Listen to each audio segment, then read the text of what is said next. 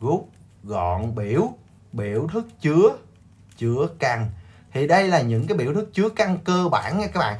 Thì biểu thức này chứa căn thì các bạn nhớ giúp là công thức đó là căn a bình thì bằng trị tuyệt đối a. Được chưa? Thì muốn bung trị này các bạn phải xác định là số âm hay là số dương. Được chưa? Nếu a lớn hơn bằng không thì hàng này sẽ ra căn a bình sẽ bằng bằng a. Được chưa? Nếu a nhỏ hơn không, thì căn a bình sẽ bằng trừ a. Ví dụ nè.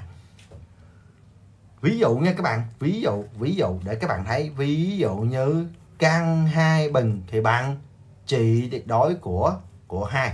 Được chưa? Hai là số dương. Số dương thì ra chính nó. Tiếp tục căn trừ 3 tất cả bình thì bằng gì ạ? À? bằng trị tuyệt đối của trừ trừ 3 trừ 3 là số nhỏ hơn không. Thì các bạn nhớ giúp lợi số nhỏ hơn không thì thêm dấu trừ nha các bạn đừng đổi dấu các bạn đừng nghe đừng nghe dấu số âm thành số dương. Các bạn đừng nghe cái câu đó giúp lợi nha số âm thành số dương đừng nghe câu đó. Và hãy cố gắng nhớ giúp lợi. Số à, trừ 3 là số âm thêm dấu trừ giúp lợi. Đó thêm dấu trừ.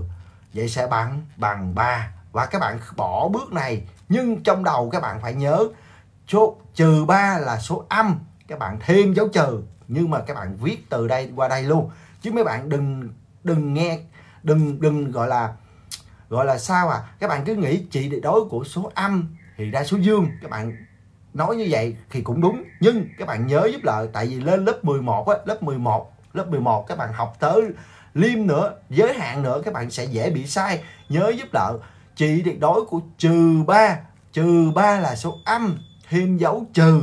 Vậy là ra 3 nhớ giúp lợi nha mọi người. Mọi người ơi, cố gắng nhớ giúp lợi nha. Rồi bắt đầu mình làm những cái bài cơ bản nè. Cơ bản nè. Ví dụ như một, bài 1 nè.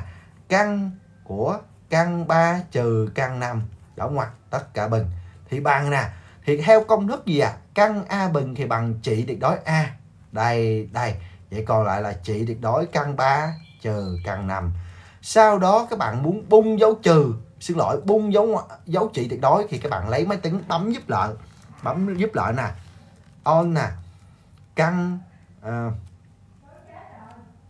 căn 3 trừ trừ căn 5 bằng. Chuyển à. À, thì ra là gì số à số gì à? Đó là số âm, số âm thì ta thêm dấu dấu trừ. Còn nhiều thầy cô nè, còn nhiều thầy cô nha, còn nhiều thầy cô nó người ta sẽ nói như vậy, bấm máy tính ra số âm đúng không ạ? À? đổi vị trí. Đó, tùy vào giáo viên nha các bạn. Nhớ, tùy vào giáo viên. Đó. Còn đối với lợi, đây là số âm đúng không ạ? À? thêm dấu trừ giúp lợi. Số âm, thêm dấu dấu trừ nha mọi người. Cố gắng nhớ, tùy vào giáo viên nha các bạn. Các bạn cố gắng các bạn thông cảm một chút xíu nha không giáo viên nào cũng đúng hết nha các bạn. Được chưa? Rồi tiếp tục nè tiếp tục. Ta lấy một bài tiếp theo nè bài 3 bài 3 đó là gì à? Căn của căn 3 cộng 1 đóng ngoặc tất cả bình. À, làm bài 5 nha các bạn xin lỗi mình viết lỡ bài 5 rồi. Trừ cho căn 2 căn 3 trừ 4 tất cả bình. Được chưa? Rồi đây là dạng căn A bình thì bạn trị tuyệt đối của của A. Hôm nay cũng vậy trị tuyệt đối của của A. Sau đó các bạn bấm máy tính giúp lợi thì hàng này mình bấm ra là nó số lớn hơn không. Vậy ra chừng uh, bấm máy tính giúp lợi hàng này hai căn 3 2 căn 3 trừ 4 bằng.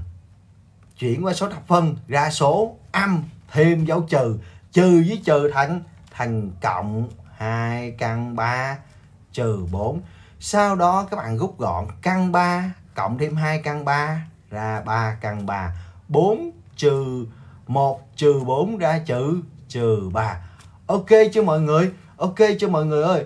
Rồi à, thôi xin chào và hẹn gặp lại tất cả các bạn trong quá trình hướng dẫn. Có chỗ nào bị sai có chỗ nào bị thiếu các bạn cố gắng comment giúp đỡ để là khắc phục những đoạn clip sau trở nên hay và ý nghĩa hơn nha mọi người. Cảm ơn.